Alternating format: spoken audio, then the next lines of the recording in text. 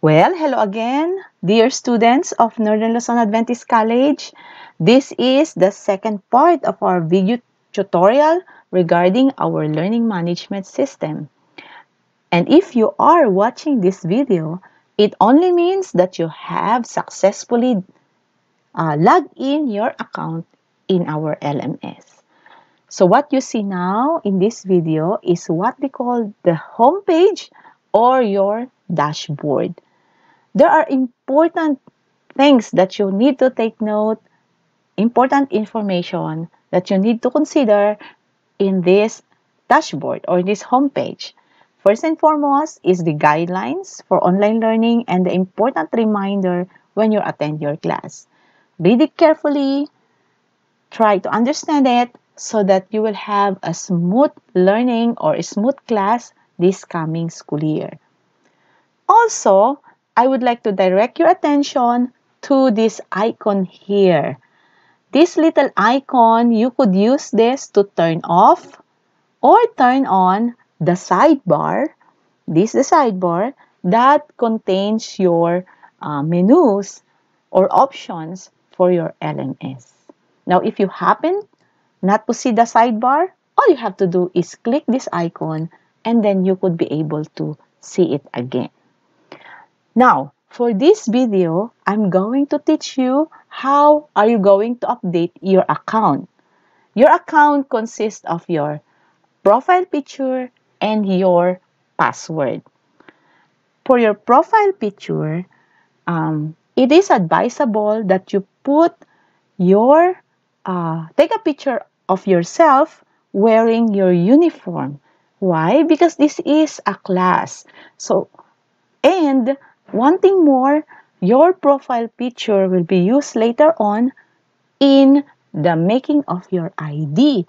So, dear students, dress yourself, wear your uniform, ask someone to take your picture, and then um, have a plain background. Huh? Have a plain background, ask someone to take your picture, wear your best smile, have a good haircut, and then upload your picture. Then we will download that and use that for your ID.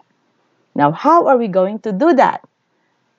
Simply go to My Account, and then you could see here the interface for that uh, account, and then click Browse.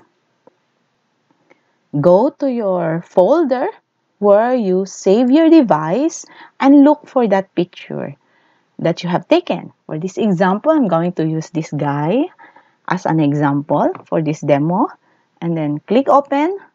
You could see that the file name is displayed there.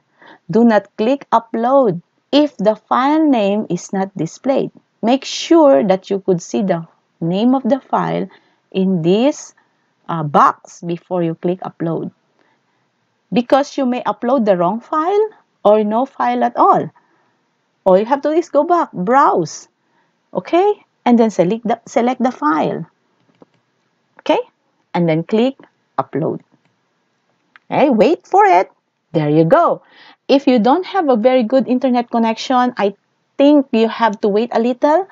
The speed of the upload depends on the internet connection. So when you upload or do your LMS, uh, make sure you have a stable connection. Now, let's go to the password. I know, especially the college, uh, we have the system had given you a password that is very hard to remember. No problem for that. All you have to do is type it here, your old password, and then enter your new password, whatever that new password is, and then retype again that password. Make sure that what you enter there as your new password, you could be able to remember it and take it note, write it down so that you will not have any problem logging in into your system. Remember, if you forgot your password, that is a delay on your class. So make sure what you enter in your new password and confirm password are the same and can be remembered by you. If if it is possible, take a screen capture or jot it down in a notebook that or a paper that you could keep it throughout the semester or the school year. Okay? So, uh, this is our topic for this uh, video. I will create another video for another feature of our LMS. Bye!